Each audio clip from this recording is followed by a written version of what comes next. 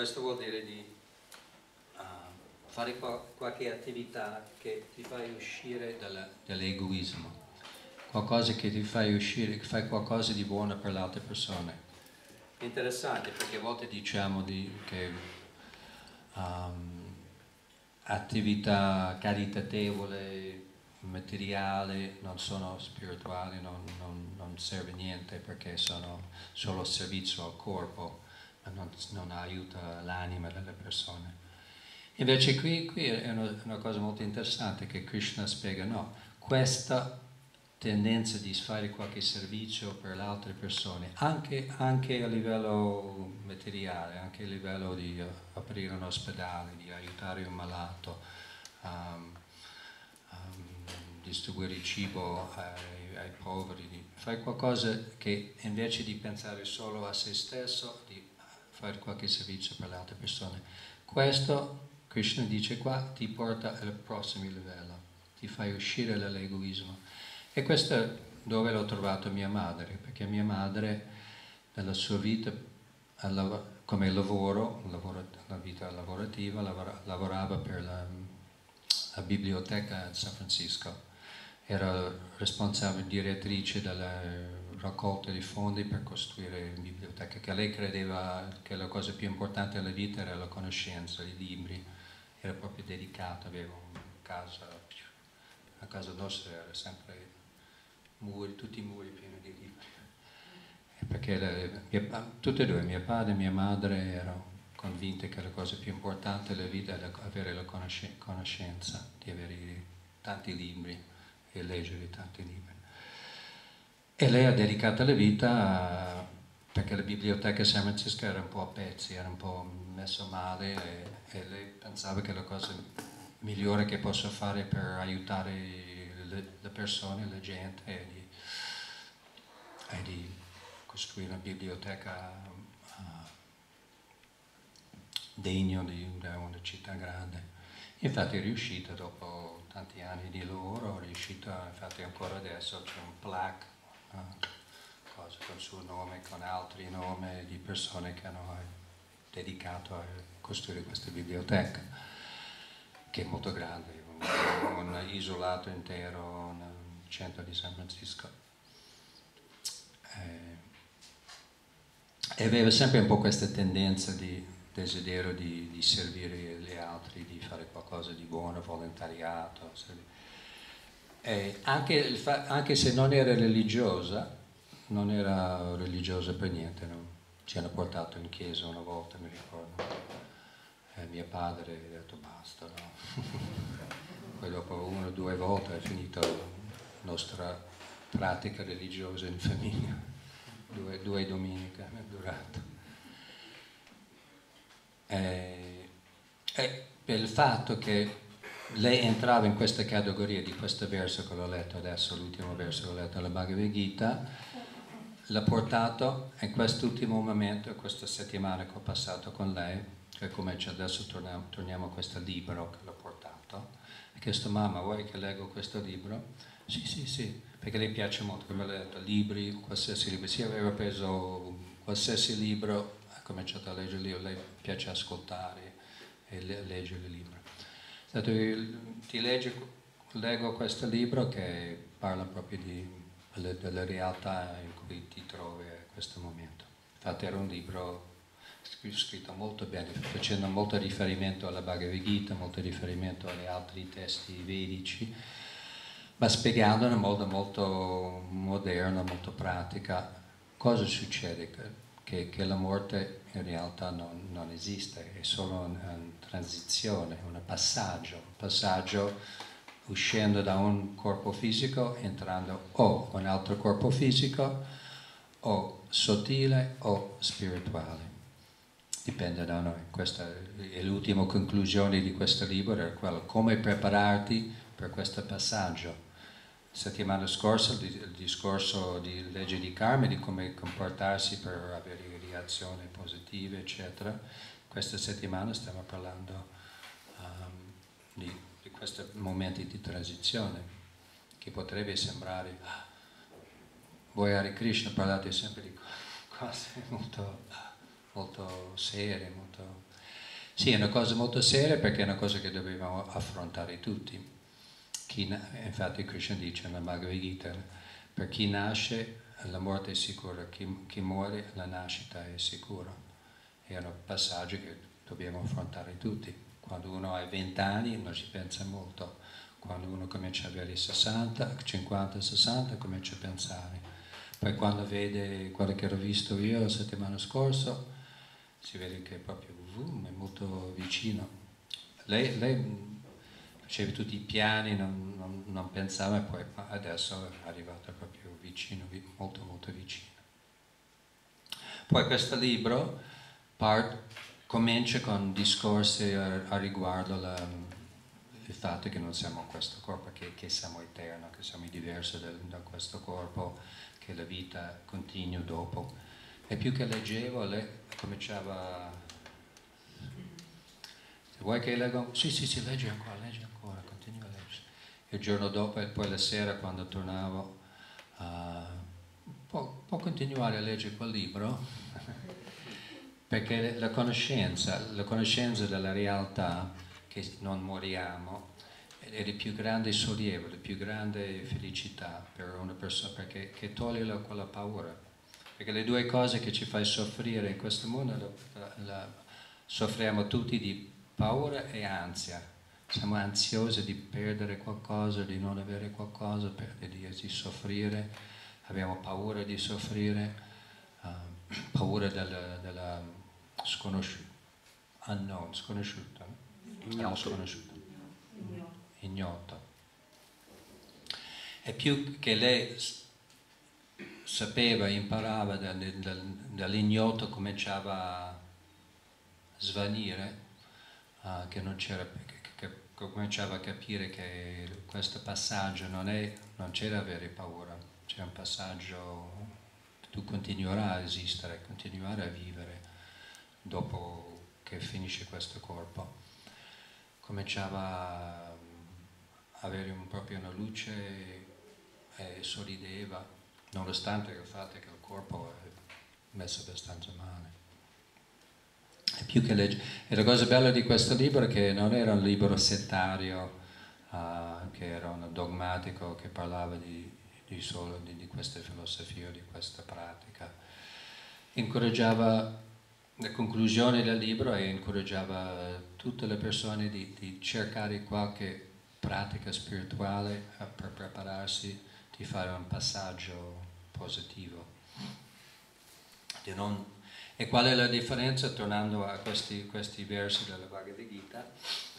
Che se uno sviluppa compassione, desiderio di aiutare altri, di uscire dalla, dalla coscienza egoistica, uh, avrà una transizione molto più positiva. Invece se uno rimane nel, nell'egoismo, l'avidità, nel, nel pensare solo di se stesso, di come prendere di più e sfruttare altre persone così, avrà un passaggio negativo, avrà un passaggio doloroso portando a una condizione peggiore uh, di sofferenza uh, superiore in più nella prossima vita, prossimo passaggio. E, questo, eh, spiegava questo. E poi da, da questo ho, ho, capito come mai, e poi parlava chiaramente di Dio, di, di nostra relazione con Dio, con la dimensione spirituale, eh, cose che non ho mai parlato con mia madre. Praticamente tutta la mia infanzia non ho mai sentito dire una volta la parola Dio in casa mia, era proprio una parola, una, una parola che non, non esisteva, esisteva nella mia casa mia. E senza non, non era una, una cosa della nostra famiglia di, di, stare lì a leggere, a parlare di, di Dio, di Dio, di cose spirituali. Invece, dovuto al fatto che che era una persona caritatevole desiderosa di aiutare altri e si trovava davanti in questa condizione, davanti alla morte, era molto molto felice, molto molto illuminata proprio da, da sentire questi discorsi.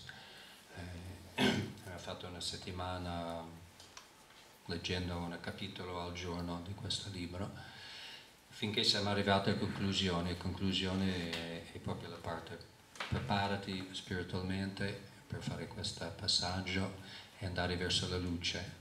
Infatti lui spiega quattro, non mi ricordo esattamente in dettaglio di tutti e quattro, principalmente quattro cose che succederà al momento della cose, quattro cose che potrebbe succedere al momento della morte. Spiega proprio chiaro. Se uno è una persona una spiritualista praticante da, da, tanto tempo, perché lui dà il consiglio non, non aspettare l'ultimo momento, magari qualcuno sta leggendo questo libro e non ha mai fatto niente nella sua vita di, di spirituale e si trova all'ultimo momento non preparato sarà più difficile, magari uno deve, come l'ultimo momento prima di un esame, si trova non preparato, invece uno che durante la vita, più, più tempo che abbiamo per prepararsi, meglio è, più diventa più facile. Ma no, non importa se anche se all'ultimo momento, all'ultimo periodo, uno può dedicare uh, e prepararsi una delle preparazioni migliori uh, che abbiamo provato prima, di, di, meditare, cantare. Uno può scegliere una preghiera, un nome divino che, a cui si è più attratto, uh, ma proprio questa, questa, pratica di ascoltare, di, di, cantare, di meditare, di pregare su uh, un nome divino o una dimensione divina, questa è la migliore preparazione per questa transizione, perché ti porta verso la luce, ti porterà, proprio quel momento ti porterà verso la luce e diventa automatico che uno va verso questa luce. Infatti con queste, queste quattro cose che potrebbe succedere, la migliore, la causa migliore è se tu hai praticato, hai preparato, hai fissato la coscienza, la mente alla spiritualità, si vedrà luce e andrà verso questa luce, verso questa dimensione spirituale, una transizione proprio molto fluida, facile. Se uno è un po' meno preparato, c'è la possibilità, sarà un po' più difficile andare verso la luce. Poi terzo non mi ricordo esattamente, ma sono vari livelli di, di dimensione in questo mondo. Primo, direttamente in una dimensione spirituale. Secondo, dimensione materiale ma elevato. Terzo, un po' stesso livello. E mi sembra che il, poi il quarto è chiaro, uno che è stato tutta la vita a pensare solo a cose materiali, il suo piacere materiale, andrà verso le tenebre, verso il buio, perché vive nell'ignoranza, ignorando, ignorando la realtà che è un essere spirituale, non materiale, uh, andrà sempre più dentro quella uh, dimensione di ignoranza. E ma ognuno di noi abbiamo questa libertà, libertà di scegliere, libero arbitrio di scegliere quale direzione vogliamo andare. Deve andare? Eh. Così hai qualcosa da portare via. Eh, poi dopo una settimana, questa, quella settimana, perché mio padre abita a San Francisco e mia madre a Monterey, tre ore di, di distanza e sono andato su a, a visitare mio padre, che la nostra relazione, devo ammettere, non era il migliore. Io ho preso una strada così e lui era repubblicano, ateo, avvocato, non potrebbe essere più diverso, non potrebbe essere più diverso uno dall'altro. Allo stesso tempo c'è un affetto naturale, un affetto da parte di lui, da parte da da me, uh, è, fatto, è, stato un bravo padre, uh, super responsabile, uh, sempre lavorato, sempre a casa alle 6 di sera. gli americani mangiano alle 6 di sera, non alle 8. E era sempre a casa da sé. E, ma storia lunga, ma in qualche modo sono due famiglie diverse, le sono separate, sono due famiglie diverse, così mi sono entrato da una realtà, sono entrato in tutta un'altra famiglia, un'altra realtà.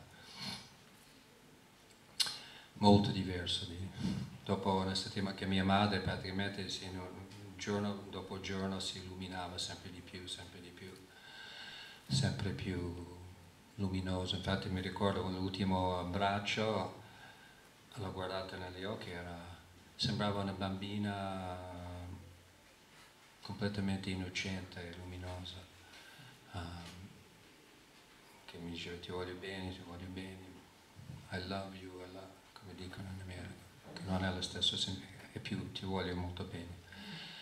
E era molto commovente perché si vede proprio, sentiva proprio l'anima, anima, anima, non... Um, madre, figlio, corpo, corpo.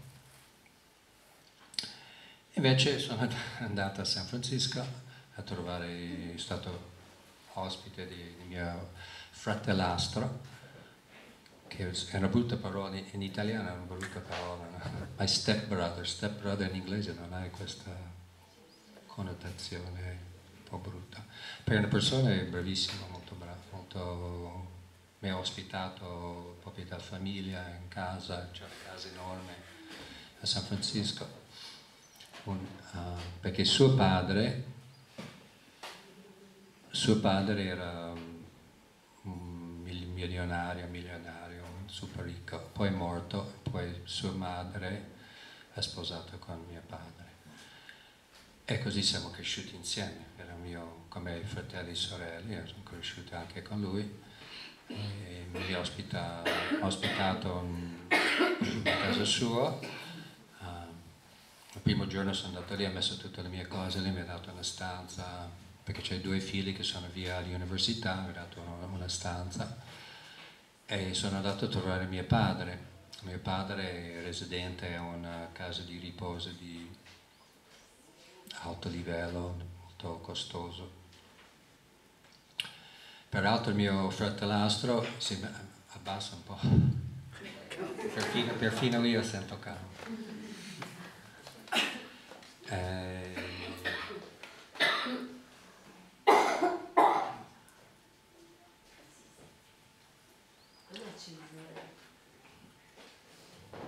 tutti concentrati intensamente. Peraltro mio fratellastro, è, che suo padre era ebreo, così lui pratica ebre, ebraismo, il mio fratellastro. Sua madre no, ma suo padre sì. È, per, è praticamente il direttore, il presidente delle board of directors, il presidente delle, della congregazione del tempio più grande, della, parte, della sinagoga più grande nella la parte occidentale degli Stati Uniti, peraltro nel senso come volontariato. e mi ha raccontato un po' tutto loro, hanno 4.000 persone, questo tempio occupa di 4.000 persone, 2.300 famiglie in tutto 4.000 persone che sono membri di questo tempio. È interessante perché si scopre che tutte le religioni, tutte le istituzioni hanno le stesse problematiche, passano le stesse, le stesse storie, le stesse cose, le stesse difficoltà. E, e è stato molto gentile a raccontarmi un po' tutte le uh, difficoltà per il rabbino che non, non, che non andava, il rabbino giovane, carismatico, che non, non andava d'accordo con il capo rabbino, perché c'erano sei rabbini che, che, che gestiscono questa sinagoga.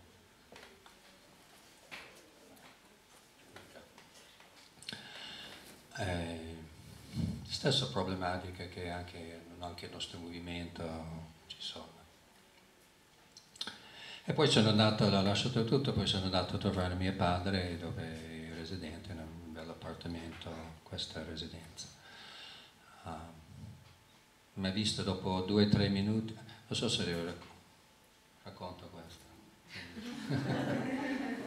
non è un critica di mio padre che lo amo lo stesso, ma per fare uno studio un po' della differenza di personalità collegandosi con questi versi della Bhagavad Gita, perché è una cosa molto interessante, che si vede proprio un contrasto molto lampante da, da, da una persona che, si comporta con questo, questo verso che abbiamo letto nella Bhagavad Gita e un'altra persona che comporta, comporta in un altro modo, come viene fuori la personalità. Perché mio padre ha sempre dichiarato di essere molto orgoglioso di essere, di essere, aver realizzato che Dio non esiste, eh, di essere un ateo, di essere coraggioso, perché in America non è visto molto bene i lati, perché ci sono più percentuali di persone che credono in Dio in America che qua in Italia. Infatti nessuno mi crede quando dico, dico in America che qui in Italia, poi in Bologna,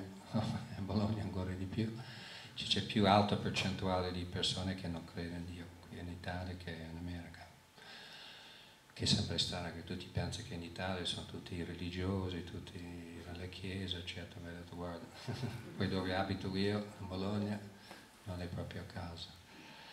E dopo due o tre minuti che, che sono entrata, perché due anni fa sono andata a visitarlo e la prima cosa che mi diceva è che guarda io non sono mai stato d'accordo con la, la, tua scelta di vita ma va bene lo stesso. Così ho cominciato molto leggero molto, molto allegro. Poi questa volta ancora, ancora più bella. Mi ha chiesto ma cosa sei qua a fare? Proprio così cosa sei venuto a fare? Sono venuto a visitarti, sono venuto a trovarti, ma sei venuto a parlare del patrimonio? Ho detto, guarda, per prima lo so che non c'è, perché l'ha, come si dice, sparpalato, sperperato, sperpalato tutto. e, perdonami se racconto cose un po' intime mie. Sento molto, questo centro Vaikuntha è questa, c'è questo fenomeno che ti fa sentire molto in famiglia.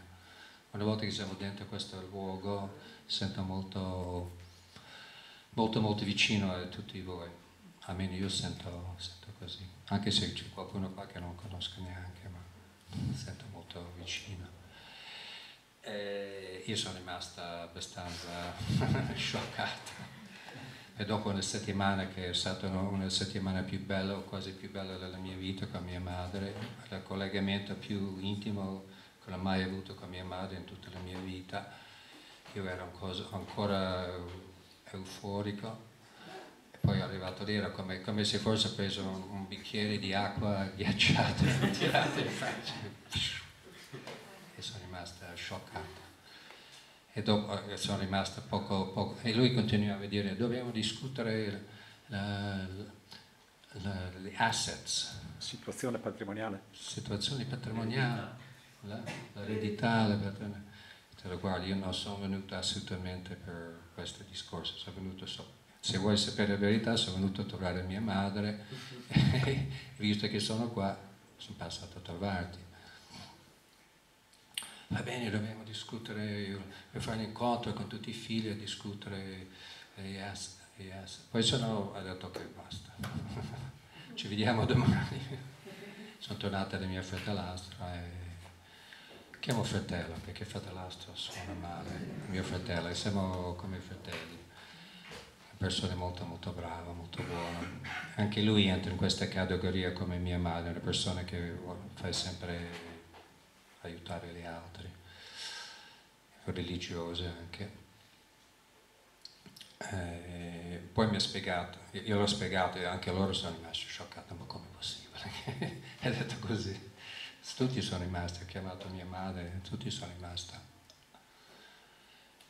Non era completamente fuori carattere per chi conosceva mio padre, ma sono rimasti tutti scioccati. E poi mio, mio, fratello, mio fratello mi ha spiegato, eh, eh, ecco, ho capito, perché due o tre giorni prima l'hanno scritto perché c'è mio fratello, questo fratello che sta gestendo tutta la storia, sta curando mio padre perché è cresciuto da bambino piccolo, è cresciuto sempre con mio padre e ero come suo padre. E sta, perché è una persona molto capace, molto, c'è anche tanti soldi.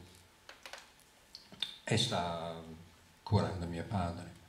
E mi raccontava che pochi giorni prima l'hanno scritto proprio il testamento e fai caso, io non c'ero. non c'è la legge come in Italia, se volendo uno può lasciare tutto al suo cane in America. Se tu vuoi può lasciare, un, se tu hai un milione di, di, dollari e tutto il tuo patrimonio può lasciare tutto al tuo cane, sotto un trustee che gestisce e, e dai tutto per, per le... Per biscottoni per, per il tuo cane per il resto della sua vita. Eh, è vero, succede anche, succede. È successo a mia, a mia zia, mia zia ha lasciato un sacco di soldi allo zoo non lasciato niente. Ho detto che gli esseri umani sono tutti cattivi, ero così deluso dagli esseri umani che lo lascio tutti i miei soldi allo zoo. Era fatto, era fatto, ho lasciato mezzo milione di dollari zoo. E ai figli, eh, nipoti, eccetera, quasi niente. E così mi raccontava mio fratello, il fratello che guarda, per prima non c'è quasi, resterà dopo che ha pagato questa casa di riposo, pagato tutto, resterà poco. Quello poco che rimane, lui ha lasciato questo, questo, questo, questo. E tu non ci sei, va bene, non c'è problema. No? E oh, mio padre, perché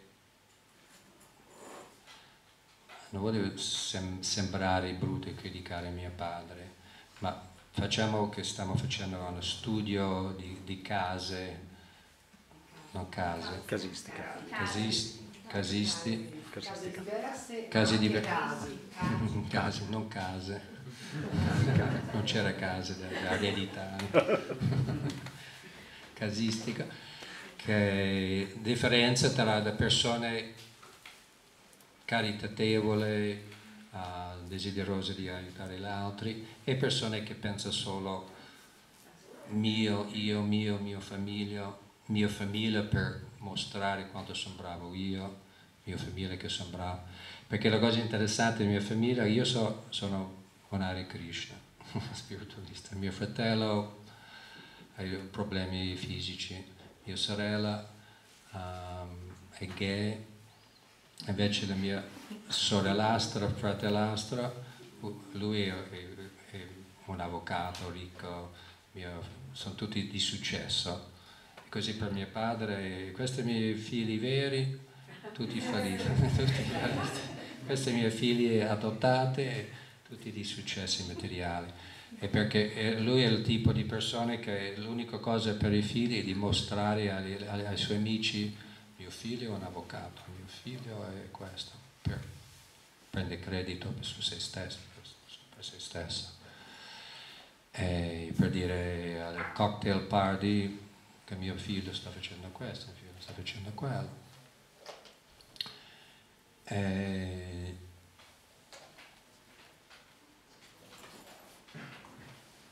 E così mio, mio, fratello ha spiegato che lui è fatto così e probabilmente sta pensando che sono, l'ho sentito e sono andato lì a, a contestare. Come mai?